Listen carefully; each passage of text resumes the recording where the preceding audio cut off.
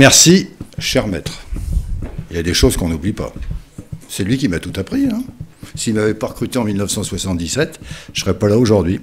Effectivement, je suis monté pour la première fois dans un camion, comme on disait à l'époque, de SMUR en 1977, parce qu'un jeune professeur d'anesthésie et réanimation avait été ce jour-là particulièrement clairvoyant, et il m'avait recruté. Et il n'a pas eu tort, n'est-ce pas hein Bon. Alors, les choses ont un petit peu changé. Les choses ont un petit peu changé. Et euh, je suis très heureux d'être, euh, d'être invité euh, ici ce soir dans ces locaux absolument prestigieux pour effectivement faire avec vous, euh, M. Berge me l'a rappelé, un peu d'histoire. On va essayer de se promener dans la médecine d'urgence à travers quelques années, quelques siècles, sur des points bien précis qui nous ont permis d'avancer, qui nous ont permis de progresser. Mais je terminerai quand même, j'y tiens vraiment, cet exposé par ce qu'est devenu notre métier euh, aujourd'hui. Je ne vous parlerai pas obligatoirement d'évolutions euh, techniques tout à fait remarquables, mais probablement d'une nouvelle appréhension que nous avons, nous, les médecins urgentistes, les médecins euh, réanimateurs du dur, de l'extrême, face à certaines situations géopolitiques particulières qui font aussi partie de notre histoire. Alors, l'urgence et la thérapeutique dans l'urgence, elle a pu modifier un peu notre histoire. On m'a dit de commencer par Napoléon, on a commencé par Napoléon. 15 juin 1815, Napoléon souffre d'une énorme crise d'hémorroïdes. Elle est traitée par du laudanum. Mais elle est vraiment traitée par beaucoup de laudanum. Il perd une partie de ses capacités, il n'est plus le grand stratège qu'il était. Est-ce à cause du laudanum? Toujours est-il que c'est Waterloo. Alors de l'influence de traitement en situation d'urgence sur notre histoire contemporaine aujourd'hui, je n'en suis peut-être pas sûr, mais regardez. Les grands hommes sont aussi soumis à des situations d'urgence qui peuvent avoir des implications euh, majeures. Le général de Gaulle. Octobre 1964. Il roule 10 capitales visitées, il fait 20 000 km et il a une sonde à demeure pour une rétention aiguë d'urine. Il n'arrête rien, il continue dans des conditions difficiles, et en particulier un rendez-vous important, majeur dans notre histoire avec la mairie de qu'il n'a pas, pas loupé. En 1967, il lui arrive la même chose, mais juste pour un événement, et là, il n'a pas mis de sonde. Il était à Montréal, puis voilà, Québec. Vous vous souvenez de cette fameuse phrase, on ne viendra pas là-dessus. Ce qui a marqué très clairement l'histoire de, notre médecine d'urgence contemporaine, c'est les champs de bataille, c'est la guerre. Euh, et il n'y aurait pas de médecine d'urgence aujourd'hui s'il n'y avait pas eu une médecine militaire. Nous sommes quelque part, nous, les médecins urgentistes, euh, les enfants euh, de, cette médecine, de cette médecine militaire. Beaucoup de choses nous ont été apprises par les médecins militaires. Bien sûr, au départ, c'était avant tout la traumatologie, des blessures, des blessures de guerre. Et on est allé de ce concept de la blessure de guerre sur les champs de bataille de Napoléon, bien sûr, je vais vous parler du baron Larrey, je ne peux pas faire autrement, mais de ces blessures de guerre au concept de prise en charge des grands traumatisés de la vie. J'ai quelques souvenirs avec quelques-uns d'entre vous ici. Hein. Mon ami Patrick, on en a fait quelques-uns euh, ensemble de ces grands traumatisés dans les années, euh, écoulées. Euh, sur ce concept de mort évitable. Comment éviter que des gens meurent? Et en fait, ce concept de mort évitable, il a commencé à se développer sur les champs de bataille. La mort n'était plus acceptée. Cette phrase du, baron Larrey est essentielle, car euh, c'est aussi euh, une volonté de ne pas traiter que les officiers, que les maréchaux, que les généraux, que les colonels, mais bien de traiter tous les blessés sur le champ de bataille, euh, du simple soldat jusqu'au plus haut gradé. On commencera toujours au plus dangereusement atteint, sans égard au rang ni aux distinctions. C'est un bel exemple, à cette époque-là, sur les champs de bataille, de démocratie sanitaire et de volonté de traiter absolument tous les blessés. Cette phrase est essentielle. Il soigne et il transporte après. Il soigne sur place et il transporte après. Alors vous savez, c'est amusant ça, hein, parce que l'arrêt, c'est un, c'est un français bien entendu, et c'est ce qui nous oppose un petit peu d'ailleurs à ce concept qui est un concept anglo-saxon de la médecine d'urgence versus un concept qui n'est pas français, qui est un concept européen les anglo-saxons, et en particulier les nord-américains, surtout les Américains, pas trop les Canadiens, mais euh, également euh, les, Anglais, sont sur un principe qui s'appelle le scoop and run. Je prends, je me dépêche et je vais à l'hôpital. Les Français ont commencé, puis après euh, les Européens, car notre système est largement répandu aujourd'hui dans l'Europe, ont une prise en charge qui s'appelle Stern Stabilize. Je reste sur place le temps qu'il faut, juste le temps qu'il faut. Tous les patients ne sont, pas les mêmes. Et je vais à l'hôpital, mais je commence à traiter le patient sur place. C'est exactement ce qu'a fait Dominique Larrey. Il a commencé à soigner sur place. Euh, en particulier, vous le voyez sur cette diapositive, et on connaît tous cela bien entendu, à travers ces amputations sur le champ de bataille, pour éviter quoi? Éviter la gangrène. Parce que tous ces grands blessés de guerre sur ces champs de bataille mouraient de gangrène. Bataille de la Moscova, 200 amputations en, 24 heures. Et vous voyez là euh, l'un de ses élèves, Pierre-François de Percy, euh, qui avait inventé cette route ambulante d'amputation. Et puis, euh, François-René de Percy, Pierre-François Percy, pardon, a été plus loin et il a obtenu euh, des, ambulances. Vous avez là, euh, sur la, droite, le premier SMUR, qui a été jamais envisagé en France, bien que on avait limité mon propos à, Napoléon. Il s'est pratiquement rien passé entre Napoléon et et les Égyptiens, mais les Égyptiens avaient inventé quelques concepts de médecine d'urgence qui étaient particulièrement intéressants, allant de la trépanation sur place jusqu'au transport d'un certain nombre de malades graves. Et Pierre-François de, Percy a obtenu ces bataillons d'ambulance. Qu'est-ce que c'est? Et là, on est très clairement à la naissance euh, du service de santé des armées. C'est le début d'un service de santé des armées organisé. Il y a eu des élèves de l'arrêt, il y a eu euh, des élèves, bien entendu, de, Percy, et euh, on ne peut pas ne pas citer euh, Henri Dunant, parce que c'est celui qui a, toujours en partant des conflits, toujours en partant des catastrophes, qui a basculé de la simple prise en charge des, militaires vers la prise en charge des civils. Changer le monde, et bien entendu, c'est la naissance de la Croix-Rouge. Pendant ce temps-là, l'exercice médical se, structure tout en avançant au cours du temps. L'action humanitaire euh, au service des populations, au service des victimes de conflits, de catastrophes, d'accidents se, développe. Et puis, euh, voilà, vous aurez une magnifique conférence euh, dans un mois là-dessus sur la, guerre de Crimée. il y a des écoles d'infirmières. et pendant la, guerre de Crimée, la première école d'infirmières avec des infirmières qui vont se projeter sur le terrain est créée par Florence Nightingale à, Londres. Et dans ces écoles d'infirmières, on apprend le nursing des blessés. On apprend à gérer euh, les blessés. Là aussi, toujours, pour développer ce concept de mort évitable, pour éviter ce qui tuait à l'époque, l'infection et euh, la, gangrène. Parallèlement, le docteur en médecine apparaît en 1892, et puis en 1895 arrive le, corps des, accoucheurs euh, à, Paris, où on va voir se développer des concepts qui sont ceux de l'hygiène et de l'organisation euh, intra-hospitalière, avec le premier vrai service d'urgence à la Riboisière, euh, dans ces années 1895-1900. Des chirurgiens, bien sûr, mais pas seulement. Des chirurgiens, bien sûr, mais également euh, des bactériologistes, on l'a vu, des infirmières. Pendant la Première Guerre mondiale, le corps médical est présent. Ça y est, maintenant, il est structuré il y a des automobiles chirurgicales avancées, avec des techniques opératoires planifiées. Stérilisation des instruments sur les champs de bataille. Apparaît le dogme de l'intervention précoce. On est au-delà de la simple amputation. Et euh, en 1915, la première euh, transfusion sanguine euh, vous voyez cette phrase merveilleuse, je le vis peu à peu se, recolorer. La première transfusion sanguine sur un champ de bataille, et vous allez voir après que les apports de sang euh, ont fait euh, très clairement partie des dotations de nos collègues militaires dès lors qu'ils partaient en, campagne.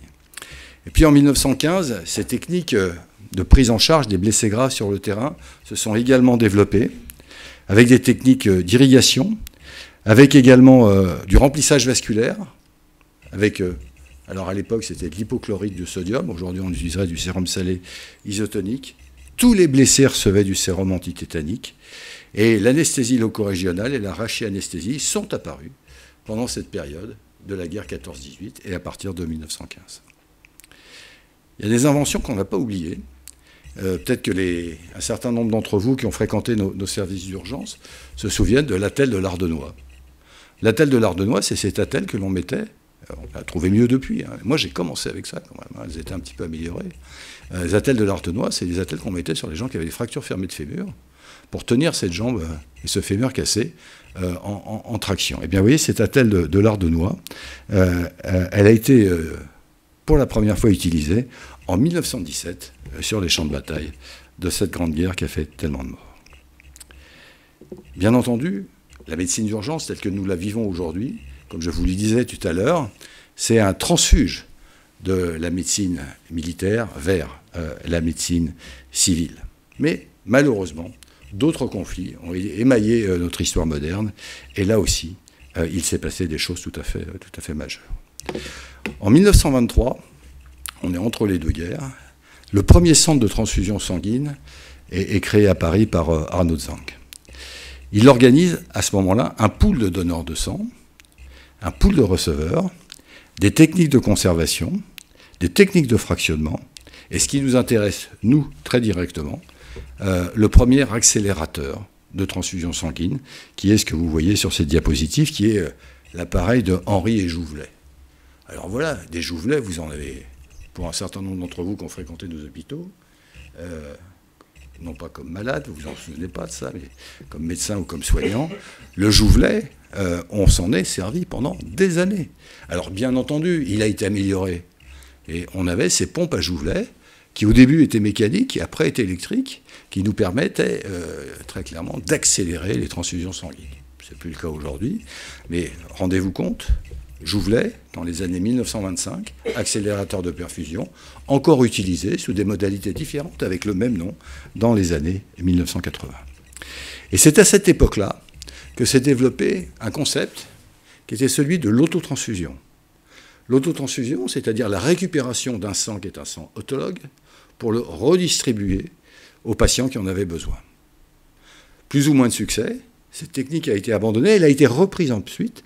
Elle a été avant tout reprise pendant euh, la guerre, d'Indochine euh, par nos réanimateurs, et elle s'est ensuite développée, puisqu'aujourd'hui, très clairement, nous la pratiquons, récupération de sang autologue au bloc opératoire, en particulier en chirurgie cardiaque, en chirurgie vasculaire, mais même en médecine d'urgence, même dans nos salles de déchocage, où nous pouvons récupérer le sang des hémothorax, qui par définition est un sang stérile, pour le redistribuer immédiatement aux patients. Deuxième guerre mondiale, là, c'est très clairement une évolution majeure qui a transformé, euh, notre histoire. C'est un, rôle déterminant euh, de l'organisation euh, et de la cybernétique en, médecine d'urgence. C'est une guerre mécanique, c'est une guerre différente. Elle impose ampleur et mobilité et un service de santé des armées qui était à ce moment-là, bien entendu, un facteur indissociable des forces engagées dans les conflits. L'examen médical a été compris comme devant être très très précoce. Il n'y avait plus, et vous le savez bien entendu, de bataillons, d'unités engagées sans qu'il y ait au minimum un infirmier, au mieux un médecin, au plus près, de l'action. C'est à partir de là, bien entendu, que ces, stratégies de remplissage vasculaire massif euh, sur le terrain ont été, euh, déployées, avec euh, des perfusions de plasma.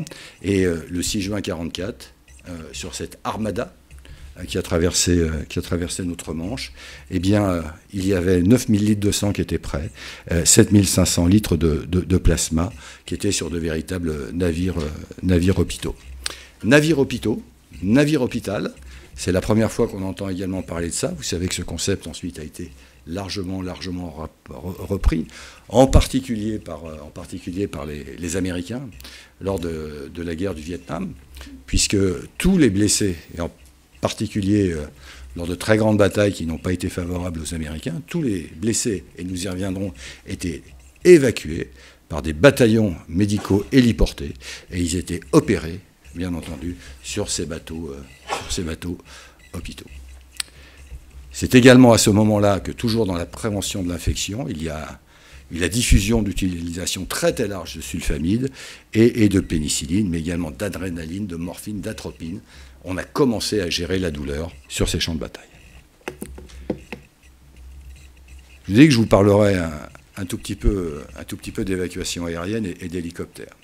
En 39-45, euh, parmi les moyens permettant de sauver des vies humaines, je pense que l'évacuation par air, donc euh, par avion, est à placer au même temps, au même plan, pardon, que le plasma, que la pénicilline ou, que les sulfamides. C'est un rôle déterminant de ces évacuations aériennes pour la survie des blessés. En, 1939-1945, sur le siège de, Stalingrad, il y a 52 000, 52 000 personnes qui ont été, 52 000 civils, combattants, résistants, qui ont été évacués par l'arrière, par avion, par avions médicaux pour pouvoir être traités. C'est également pendant cette période qu'on voit apparaître les sorts de l'anesthésie, les sorts de la transfusion sanguine et, de la réanimation qui ont été ensuite largement, largement diffusés lors des différents conflits de décolonisation. Alors, vous voyez, Sikorsky, c'est un russe. Hein, euh, qui ensuite est parti aux États-Unis pour faire fortune. Il y a plein d'hélicoptères qui s'appellent d'ailleurs des Sikorsky. Hein. Euh, et euh, lui aussi a cette phrase merveilleuse qui dit que c'est probablement l'invention qui a sauvé plus d'hommes qu'elle n'en a tué. Bon, oui, il faut quand même espérer que les évacuations aériennes par hélico ont moins tué de patients que ceux qui sont montés dans les hélicoptères. 1950, c'est notre guerre d'Indochine à nous. Euh, une véritable héroïne qui est euh, le capitaine Valérie André, médecin-capitaine, neurochirurgienne, euh, mais qui elle monte dans les hélicoptères. Spécialisée comme pilote qualifié, vous la voyez là aux commandes de son, de Hilaire, et puis qui a écrit des livres absolument merveilleux. Euh, des phrases comme ça peuvent rester euh, marquées dans les mémoires. À peine sommes-nous à 100 mètres d'altitude que j'entends un classement sec, nous avons été atteints. Ça s'est bien terminé puisqu'elle a écrit le bouquin. Hein. donc euh, ça, a été. Aujourd'hui, dans, les guerres modernes, cueillette des blessés par hélicoptère est, la règle. Vous avez tous en mémoire Apocalypse Now. Hein. Euh, mais euh, c'est très clairement, très clairement ça. Et on est en train d'aller plus loin. C'est-à-dire qu'aujourd'hui, la, guerre idéale, c'est une guerre qui se fait sans soldats. Donc, euh, c'est des, Robocop ou des robots, mais c'est également très clairement des drones. Et il y a toute une recherche qui est en train de se faire sur l'évacuation des blessés à partir de drones. Alors, je vais vous emmener peut-être plus maintenant dans, ce qui s'est passé en pratique civile et ce qui, au cours du XXe siècle, a vraiment marqué, euh, notre histoire. Notre histoire, c'est à la fois la confluence de cette médecine de guerre, de cette médecine militaire que je viens d'évoquer avec vous, mais également d'un certain nombre de catastrophes sanitaires civiles ou d'inventions médicales civiles que nous avons pu ensuite extrapoler, utiliser dans le cadre de la réanimation, mais dans la médecine d'urgence. Les épidémies de, poliomyélite euh, ont permis de déboucher sur le premier respirateur moderne en 52. Avant, on ne savait pas bien ventiler les patients, on le faisait mal. Donc c'est le fameux angstrom. Euh, qu'on a, connu sous des formes un peu plus, un peu plus élaborées euh, encore dans les années 75. Hein. En 1956, Maurice Carra on organise l'usage, et puis on crée ces, hamburgers, et puis Mollaret qui crée ces services de réanimation euh, pour leurs disciplines respectives. La réanimation n'existait pas, mais il y avait le néphrologue qui traitait ses patients, l'infectiologue qui traitait ses patients, et les corticoïdes et les antibiotiques et les catécholamines concourent, bien entendu, à cette médecine moderne, et la greffe d'organes va apparaître un petit peu derrière. Ce qu'il y certain, c'est que ces appareils, ces respirateurs, euh, vont nous permettre de faire des progrès absolument extraordinaires, mais en fin de compte, on oublie un certain nombre de petites choses. La réanimation cardio-pulmonaire, on l'imagine euh, débutant avec euh, des, grands noms, en particulier euh, des gens comme Peter Safar, qui sont les premiers à avoir clairement évoqué ce que pouvait être un massage cardiaque externe. Mais quand on regarde un tout petit peu, on se rend compte que sur la libération des voies aériennes, qui en médecine moderne ont euh, connu, euh, je veux dire, une, espèce euh, d'essor en 1915 avec la première canule oropharyngée, c'est qu'une, et puis après Macintosh avec ses, canules et puis, puis ses lames d'intubation, bien entendu, mais quand on regarde bien, dès 1874, dès 1878, la libération des voies aériennes était décrite. Sur la ventilation assistée, je vous l'ai dit, euh, Engstrom, Draguer en 1911 avec son pulmotor. Alors ça, c'était une machine absolument infernale. Il valait mieux pas être ventilé avec, mais enfin bon, il avait été décrit. Mais en fait, il y avait euh, dès 1543 et puis à nouveau en 1771, des, on le voit d'ailleurs sur certaines gravures de l'époque, des grands soufflets sur lesquels on branchait le patient pour l'aider à respirer quand il n'arrivait plus à respirer. Massage cardiaque externe, je vous l'ai évoqué, c'est première vraie description euh, en 59 à Pittsburgh. Euh, Kaiwanhoven, c'est euh, à la fois le massage cardiaque externe et le début des chocs électriques, mais dès 1878, le massage cardiaque externe était, euh, était, était, décrit, et vous voyez qu'en fin de compte, la défibrillation est également envisagée bien avant le XXe siècle. Alors, pour encore progresser, on est passé du concept qui était du concept d'ambulance de réanimation euh, chirurgicale à celui de, SMUR, mais là on est vraiment dans une histoire qui est plus récente. Et, là je vais vous parler de notre histoire récente, de, notre naissance à nous, euh, SAMU et SMUR, médecine d'urgence moderne en France. Les SMUR, services mobiles d'urgence et de réanimation, alors on a l'habitude de dire c'est la petite auto euh, qui fait pimpon, ont été créés en décembre 1965 uniquement en réponse à une hécatombe euh, des accidentés de la route, qui euh, était reconnu comme un véritable euh, drame de santé publique. Alors, il s'est quand même passé quelques petites choses avant. C'était pas structuré. Maurice Carra, il y, a, quatre paires historiques, on va les voir tout à l'heure en photo, hein, quatre paires historiques de l'histoire des, des, SAMU qui ont toujours revendiqué ce titre-là. Mais bon, ils ont quand même bien fait progresser les choses chacun.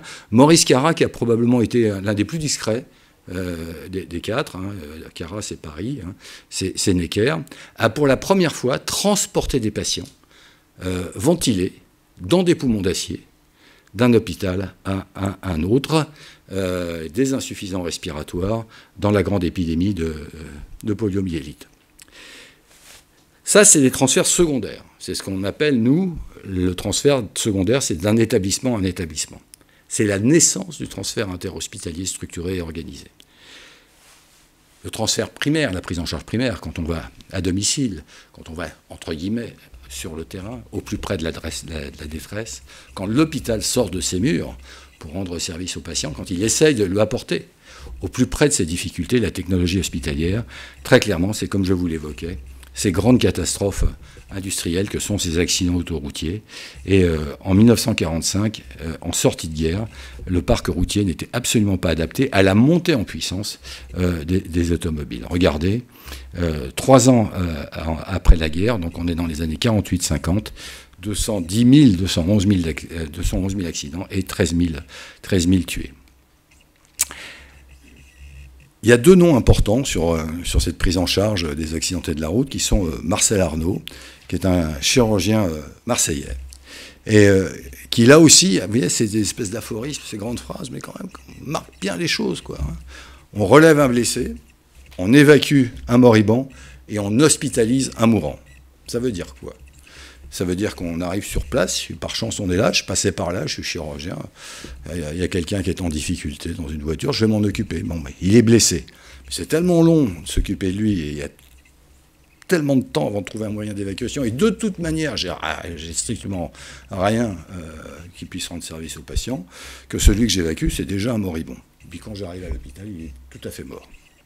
Donc il préconise la formation d'équipes de prompt secours, il milite pour l'alerte des secours, il enseigne la pratique de la réanimation respiratoire par le bouche à bouche à des secouristes routiers et il préconise la position euh, latérale de sécurité et il crée comme ça, dans les années 55-56, les assises nationales du trafic, qui existent toujours d'ailleurs. Et puis il y, a, Paul Bourret. Alors Paul Bourret, il a une histoire personnelle qui est incroyable. Paul Bourret, c'est un chirurgien parisien qui exerce à Salon de Provence. Mais sa famille est à Paris. Et sa famille vient le rejoindre tous les ans, en vacances, en voiture, en prenant certainement pas l'autorisation 6, mais en prenant la Nationale 7. Je ne vais pas vous le changer. La Nationale 7, elle était difficile, longue, dure, et toute sa famille vient le rejoindre. Et euh, fatigué, à l'entrée de Salon de Provence, ils ont un accident absolument dramatique. Et Paul Bourret est dans sa clinique. et il n'est pas informé que sa famille est en train de mourir dans une voiture un kilomètre plus loin à l'entrée de, la ville. Et quand il est informé, bien entendu, il va y aller. Il n'a pu sauver absolument personne. Je vous renvoie à la phrase de Arnaud euh, sur ma diapositive précédente. Et donc il crée une antenne chirurgicale. Une antenne chirurgicale pour les accidents de la route, destinée, comme vous voyez, à intervenir sur les lieux même de l'accident et donner des soins médicaux pour organiser le ramassage et leur transport. Et ça, c'est vraiment ça qui est la naissance, entre guillemets, du concept d'unité mobile hospitalière de SMUR tel qu'on le, conçoit aujourd'hui. Regardez ce qui s'est passé euh, dans les années qui ont suivi et qui ont imposé euh, probablement après ça, parce que ça on est sur des expériences, 1955, 1957, 1960. Il y a il y a quelques antennes chirurgicales sur des grands axes, mais très très peu. Il n'y a rien, il n'y a pas de loi, il n'y a rien de structuré, l'État ne s'est pas engagé, c'est des individualités qui font ça. 1968, regardez ces différentes courbes de mortalité routière. En rouge, c'est la France. Le reste, c'est euh, la Grande-Bretagne, l'Italie, la Suède et l'Allemagne. Donc on avait un vrai problème, un vrai problème de surmortalité euh, routière. Il a fallu prendre un certain nombre de mesures qui d'ailleurs n'ont pas été si mauvaises que ça, car vous avez là l'histoire euh, de ce qu'est très clairement la législation routière depuis, depuis ces, ces, quelques dernières années. vous voyez qu'on peut dire tout ce qu'on veut, mais euh, le fait de limiter la vitesse, le fait de mettre des radars, le fait de signaler les travaux, d'obliger euh, les motards à, mettre des casques, euh, de s'intéresser à la conduite en état d'ébriété, ça a quand même sérieusement diminué la mortalité, parce que ce que vous avez là, c'est le nombre de kilomètres parcourus, et là, ce que vous avez, c'est le nombre de tués sur la route. Moi, je suis euh, très clairement partisan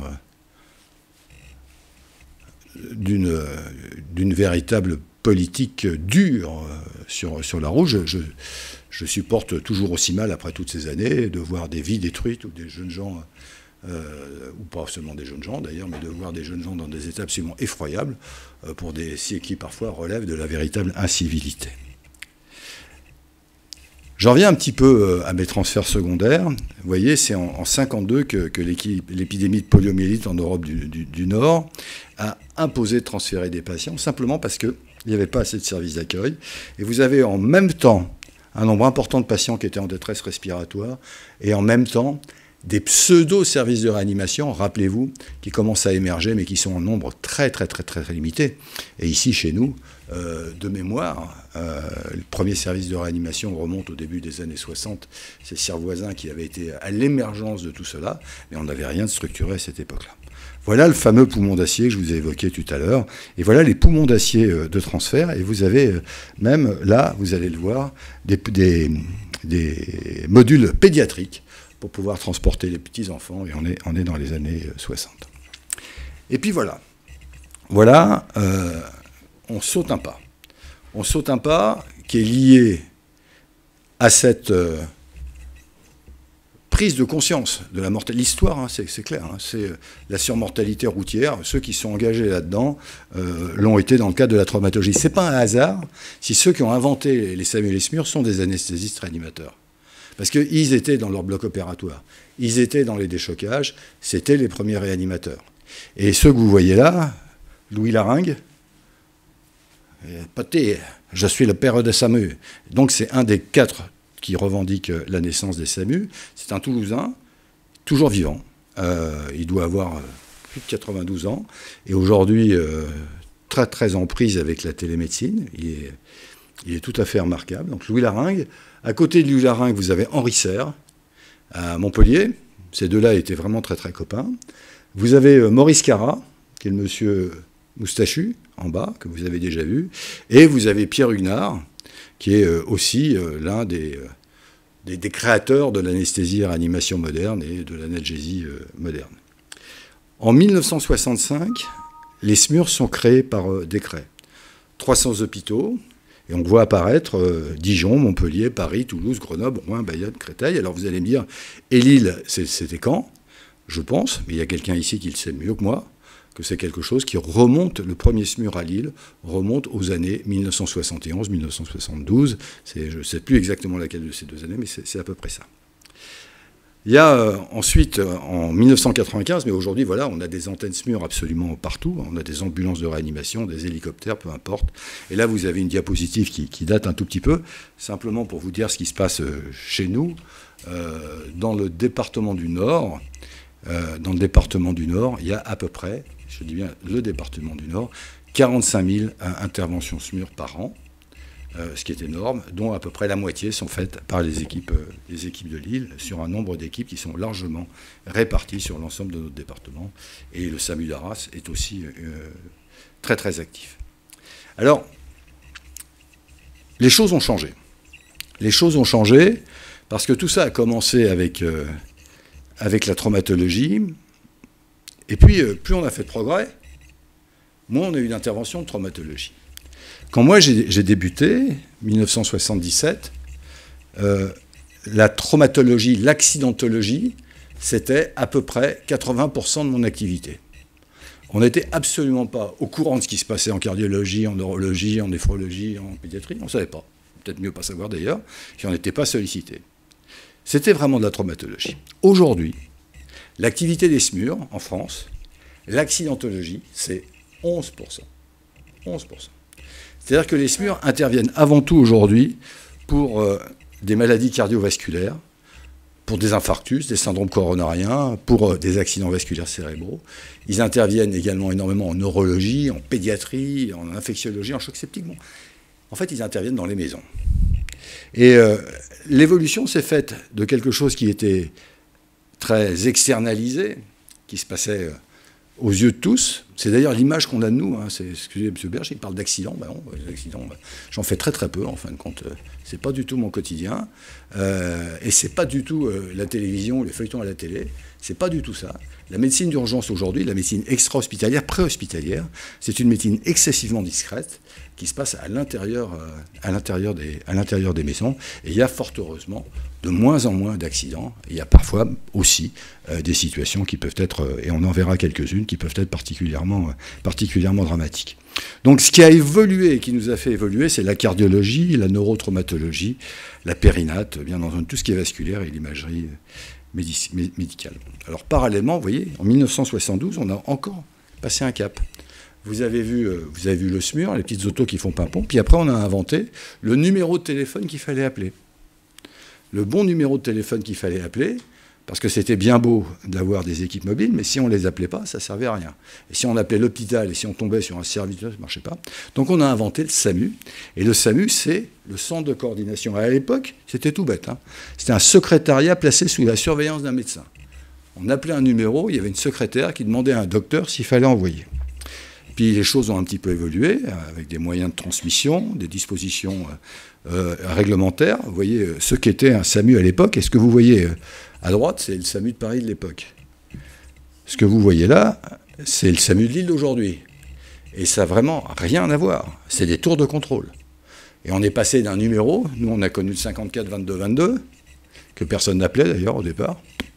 Puis après on a connu le 20 54 22 22, puis après, on a connu le 03 20 54 22 22. Puis après, on a connu le 15.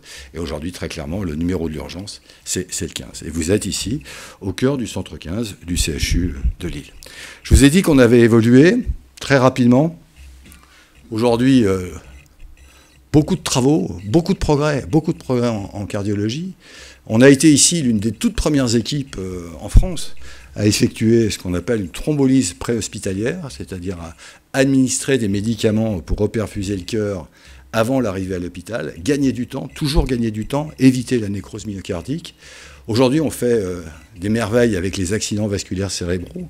C'est exactement euh, la, même, la, même, la même histoire qui est en train de se reproduire. Il y a des patients qui étaient intransportables il y a encore dix ans, euh, en état de choc cardiaque majeur. Aujourd'hui, euh, on les transporte sous assistance circulatoire, sur circulation extracorporelle. Euh, les progrès sont absolument merveilleux. Même chose pour la neurotraumatologie, mon, cher Patrick, on a fait des progrès fantastiques.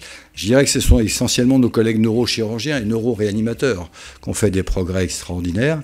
Mais s'il il n'y a pas une prise en charge précoce de la souffrance neurologique, de la souffrance cérébrale, de la souffrance médulaire, le meilleur des chirurgiens euh, ne, peut pas, grand-chose. Même chose pour la, la périnatalité. Vous voyez là les, travaux qui ont émaillé notre histoire. là aussi, des progrès extraordinaires dans le cadre de la réanimation néonatale des enfants qui étaient encore il y a 20 ans euh, des tout petits poids, qui n'avaient aucune chance de survivre, euh, qui aujourd'hui peuvent être transportés, des enfants de 600 grammes, qui peuvent être transportés comme ça, euh, grâce à nos collègues réanimateurs néonataux du SMUR, du SMUR pédiatrique de, de, Lille. Tout ça se structure, tout ça se structure à travers des organisations, donc le SAMU Centre 15, un, des associations fédératives et puis des, des, sociétés des sociétés savantes, je vais être très très rapide là-dessus, euh, c'est euh, quasi maintenant 50 ou 60 années de construction d'un service euh, public. Et puis, bien entendu, tout ça s'est structuré.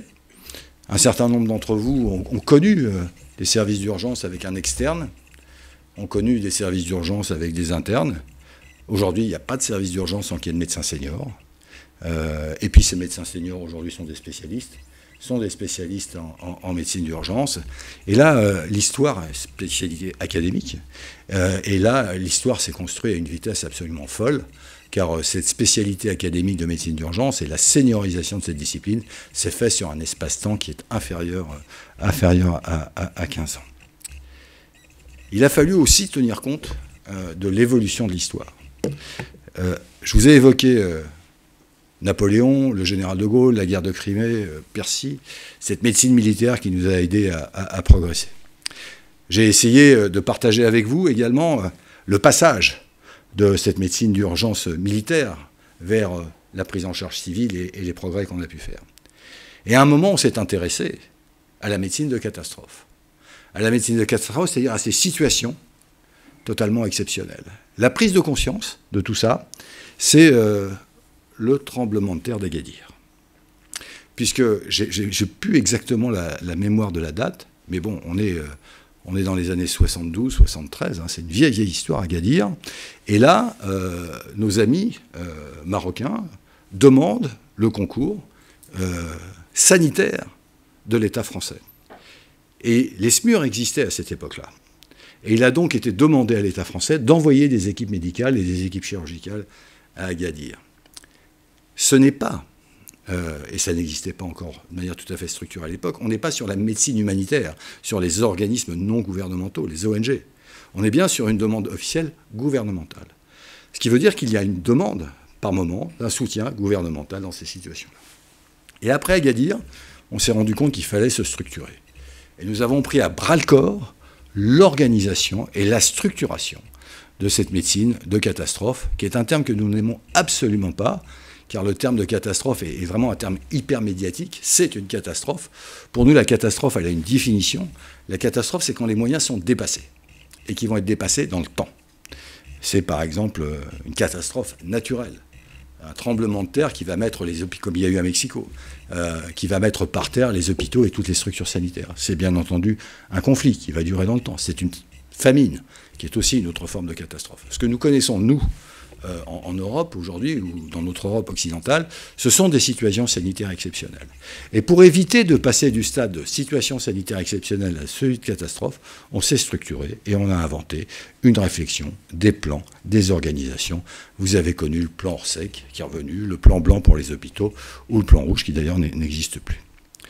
Tout ça s'est également structuré à travers euh, de la, de la, formation. Je la passe très très vite euh, avec vous pour évoquer euh, cette année qui pour nous est une année majeure, qui est l'année 2016, car euh, cette année est celle de la création de la spécialité universitaire de médecine d'urgence sur un modèle qui est le modèle européen, c'est-à-dire le modèle des autres spécialités, qui est une formation euh, universitaire de 4 ans. La médecine d'urgence était jusqu'à présent un desk, c'est-à-dire qu'elle était ouverte à certaines spécialités, dont la médecine générale, dont l'anesthésie-réanimation, dont la cardiologie. Et certains d'entre mes collègues qui avaient des DES pouvaient faire une surspécialité de deux ans qui était un DESC. Et là, aujourd'hui, on est sur une homogénéité totale euh, de, gestion universitaire de, ces spécialistes. Alors, vous voyez, ça c'est amusant parce que quand on regarde un petit peu ce, mot-là, euh, qui est celui de SAMU, c'est devenu comme frigidaire. Hein, euh, il sert vraiment maintenant un petit, peu, un petit peu à tout. On a créé le SAMU de la mer. Il y a de choses. C'est quelque chose qui s'exporte. c'est un concept qui s'exporte dans pas mal de pays. Il y a des SAMU chez tous nos amis maghrébins. Donc, que ce soit en Algérie, en Tunisie ou au Maroc, il y a des SAMU. On collabore bien avec eux. je ne suis pas sûr pour la Libye. Hein. Il y en a, quelques-uns en, Afrique noire, qui fonctionne bien, euh, en Côte d'Ivoire, euh, au Bénin. On est jumelés, nous, avec le, SAMU de, Cotonou. Euh, au Sénégal, bien, sûr. Et puis avec le Brésil. il y a eu tout un programme avec le Brésil, et tous les gros SAMU français sont connectés, jumelés avec, avec un SAMU brésilien. Et nous, on était jumelés avec, rappelle-moi, Porto Alegre. On était jumelés avec Porto Alegre. Ça aussi, ça a bien changé. Hein. Euh, vous voyez, ça, c'est, on a commencé avec ça. Euh, moi, j'ai fait le premier vol, juste euh, dans des moments comme cela, on peut se lâcher un peu. J'ai fait le premier vol héliporté pour une médicalisation de la région Nord-Pas-de-Calais. Donc, vous voyez, c'était une, alouette à l'époque, une alouette 3. et il y avait eu une intoxication monoxyde de carbone à Saint-Omer. Et il y avait des petits-enfants qui étaient sérieusement intoxiqués. Et on venait d'avoir l'hélicoptère médical. Donc, il me dit, vas-y. Vous savez, moi, je dis, ok, chef, j'y vais. Donc, me voilà parti à Saint-Omer. On va chercher les petits-enfants, on les ramène, ça se passe bien. Euh, mon ami Francis Leclerc les, attendait, ils vont en réanimation pédiatrique.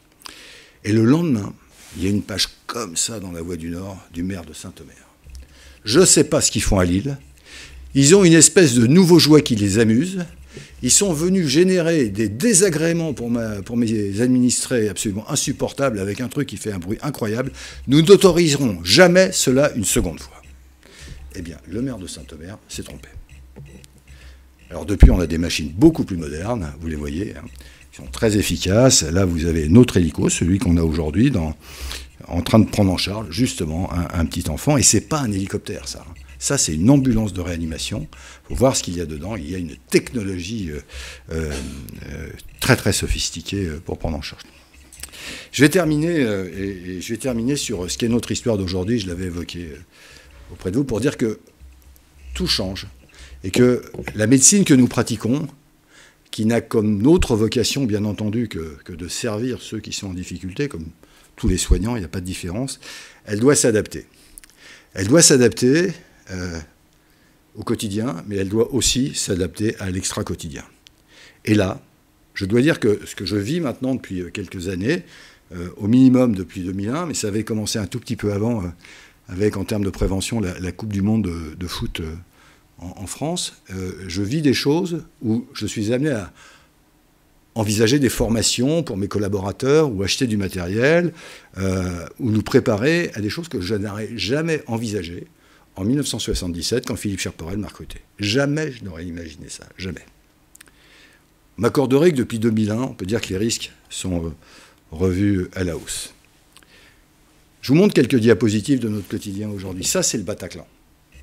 Ça, c'est le Bataclan.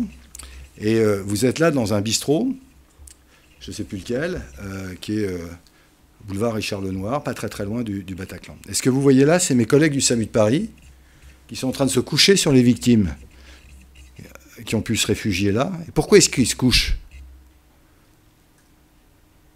Parce que ça tire. Parce qu'il y a des balles qui passent à travers le bistrot. Entre des terroristes qui continuent à tirer et qui passaient à travers le Bataclan et puis, euh, très clairement, les forces, les forces de police, euh, le RAID ou, la BAC également qui tiraient, il y a des balles qui sont passées, donc ils sont protégés, ils ont protégé leurs victimes. Ça, vous voyez, je vous montre ça parce que ça, on l'a débriefé entre nous. Ça, obligatoirement, après, donc après le Bataclan, ça va commencer après. Euh, chaque fois qu'il y a un événement grave, il y a un groupe de responsables, de, gens qui font ce métier, qui se voient, et on en tire un certain nombre de conclusions et on modifie nos, pratiques cliniques. Ça s'appelle un rétex, un retour d'expérience. On l'a fait après Charlie, on n'imaginait pas le faire après le Bataclan aussi vite, on l'a fait aussi euh, après Nice. Là, on en a tiré des conclusions. On en a tiré des conclusions sur la, protection que nous devions avoir pour nos équipes et, pour nous-mêmes et les endroits où il fallait se mettre et ne pas se mettre. Je vous ai montré euh, tout à l'heure la, régulation du, SAMU. Là, vous n'êtes pas dans la grande salle du SAMU. Et je vous invite euh, un jour, si vous le souhaitez, ce sera avec très grand plaisir que nous pouvons organiser une, visite pour des groupes qui ne doivent pas dépasser 12-15 personnes. Mais nous avons ce qu'on appelle une cellule de crise. Alors le SAMU du Nord, hormis d'être le SAMU du département du Nord, il a également une fonction, c'est qu'il est le SAMU de la zone de défense Nord. Savez que nous sommes organisés en zone de défense. Euh, le CHU de Lille est l'établissement référent de la zone de défense Nord et nous sommes le SAMU référent de la zone de défense Nord, ce qui veut dire que s'il se passe quelque chose de grave, eh bien, euh, nous aurons euh, à nous en occuper. C'est pour ça que nous avons complètement reconsidéré, après le retour d'expérience du Bataclan, notre organisation. Car nous étions sur un mode qui était une prise en charge d'un site, d'un endroit. Alors qu'est-ce que nous a appris le Bataclan? Qu'est-ce que nous a appris Charlie? C'est que ça pouvait être maintenant du multisite. Et qu'il fallait pouvoir intervenir sur différents points au même moment. Et nous avons reçu cette salle de régulation de situations sanitaires exceptionnelles de cette manière-là, avec des numéros de téléphone spécifiques, des personnels spécifiques, de manière à gérer différents points au même endroit, euh, au même moment, pardonnez-moi. Voilà, donc vous voyez, zone 1, zone 2, zone 3, zone 4, et alors ces personnels s'entraînent, s'entraînent, s'entraînent, ils n'arrêtent pas de s'entraîner le jour, la nuit, en créant euh, des exercices. Ce que vous voyez là, c'est un docteur que vous voyez là, c'est un docteur. Et c'est euh, les, gens que vous voyez là, ici, c'est le RAID. Donc c'est Force Spéciale d'Intervention.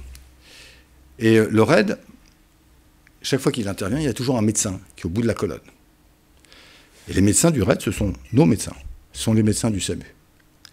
Et là aussi, vous y, alors pas tous, bien sûr, il faut être volontaire, il faut s'entraîner. et voilà, il y a un groupe de médecins qui est volontaire. Ce sont des médecins du RAID. Et euh, vous imaginez là aussi que c'est un entraînement particulier et on ne les avait pas particulièrement préparés à ça. On a dû se former à plein de choses. Qui en 1977 aurait pu dire que nous aurions à envisager euh, un véritable attentat euh, chimique ou une action terroriste chimique. Cette réflexion-là, elle nous est venue après, euh, à tous d'ailleurs, pas spécialement à nous, après l'événement du gaz sarin de la secte Aoun dans le métro euh, à, Tokyo, vous savez, cette espèce de cinglé qui ont euh, balancé du gaz sarin dans le métro. Et les quelques victimes qu'il y a eu sont d'ailleurs, les quelques morts qu'il y a eu sont tous des soignants. C'est dans l'hôpital, des infirmières qui ont été tuées ou des primo, ou des primo intervenants. Et donc, voilà, on a acheté on achète sur des fonds qui sont non pas des fonds de l'hôpital, hein, mais qui sont des dotations d'État. On achète des unités de décontamination mobile et comme vous le voyez, toutes nos équipes se forment euh, à la décontamination euh, dans les fonctions qui sont les leurs. Et il faut apprendre comme ça à décontaminer euh, en situation d'urgence ou de réanimation un, patient. Le but étant de décontaminer avant l'entrée dans l'hôpital, de manière à ne pas injecter une contamination à l'intérieur de l'hôpital euh, c'est autant de la décontamination chimique. Et ce que vous voyez là, c'est de la contamination euh, nucléaire, avec des équipes également qui sont formées euh, à la décontamination nucléaire, car ce qu'on appelle la dirty bomb, c'est-à-dire la source radioactive qui peut être laissée par exemple dans un petit sac dans le métro avec un métro qui va faire des tas d'allers-retours, est également des choses qu'il faut prendre en compte. Ce n'est que de la médecine préventive, je vous rassure. Alors quand je vous ai dit qu'on dépassait un petit peu le cadre par moment qui était celui de la simple médecine. Aujourd'hui, pour être opérationnel dans des circonstances comme celle-là, il faut être totalement autonome. Et euh, j'ai dans le service un certain nombre de, geeks qui sont tout à fait remarquables. Et vous voyez qu'aujourd'hui, nous avons euh, un certain nombre de dispositifs qui nous permettent d'être totalement autonomes en termes de transmission, c'est-à-dire que ce que vous avez vu tout à l'heure, une cellule de régulation, doit pouvoir être reproduite sur le terrain, et ça, ça génère du téléphone, de l'Internet, euh, du réseau euh, euh, satellitaire, de manière tout à fait automatique. Alors, bien entendu, tout ça doit se faire en connexion absolue avec l'hôpital. Et je vous évoquais la différence entre le système nord-américain et le système français, c'est que nous, nous mettons la régulation euh, comme un élément clé et un élément majeur du, dispositif. Euh, le Bataclan, ça, s'est bien passé au niveau de la prise en charge médicale, parce qu'on est dans Paris, c'est l'assistance publique de Paris, il y a plein d'hôpitaux, il y en a plein. Vous allez en province, c'est un petit peu différent. Et ce qu'il faut surtout pas, c'est que tous les patients, tous les blessés, aillent à l'hôpital le plus proche. Donc il faut pouvoir les répartir en fonction des degrés de gravité. Et cette régulation sur le terrain est quelque chose d'absolument essentiel. Nous avons également appris que le blessé n'était pas qu'un blessé physique, que le blessé pouvait être un blessé psychique. Et donc ont été créées les cellules d'urgence médico-psychologique. Les cellules d'urgence médico-psychologique, elles sont, euh, elles, sont au sein des SAMU. Ce sont des unités fonctionnelles euh, des, SAMU. Elles sont parfaitement structurées avec euh, des psychiatres et des, psychologues. Elles interviennent quasi dans les premières heures, voire même parfois dans les premiers instants, et leur action va durer, durer, durer dans le temps, juste comme ça en tête d'illustration, en, termes d'illustration. François Ducrot, qui est euh, mon collègue psychiatre en charge de la cellule d'urgence médico-psychologique de mon service, avec euh, ses, collègues, est parti euh, à la demande des Parisiens quand il y a eu le Bataclan. Et il a été projeté sur la mairie du 14e.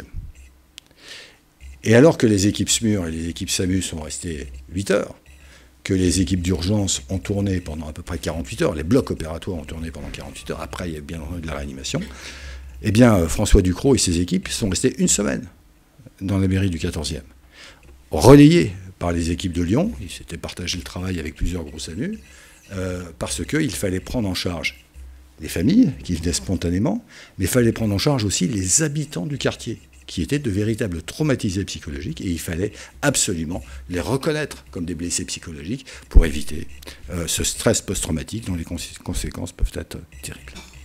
Alors j'en termine, euh, j'en termine avec ça, hein. j'en termine avec, euh, avec le, 17 juillet. nos équipes sont formées, hein, mais vous voyez que pour elles, par moments, c'est un petit peu difficile aussi. Mais voilà, elles s'entraînent, elles s'entraînent, elles s'entraînent. On est parti, on est parti de Napoléon. Euh, on arrive euh, à notre histoire d'aujourd'hui. On est parti de la guerre. On a abandonné la guerre, nous, euh, les médecins de l'urgence, pour rentrer dans une médecine civile, réelle, qui a fait des progrès absolument extraordinaires au service des populations, que ce soit sur le terrain, à domicile, mais également dans le cadre des transferts hospitaliers. Et puis, on est en train de revenir, indirectement, à une forme de guerre parce que ce que je viens de vous présenter, euh, c'est de la médecine de conflit, sauf que les conflits sont aujourd'hui différents, les conflits sont euh, chez nous, et il faut qu'on s'y prépare. Je vous remercie.